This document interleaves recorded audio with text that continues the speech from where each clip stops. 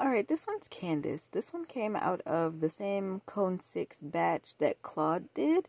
She is a shallow, wide bowl.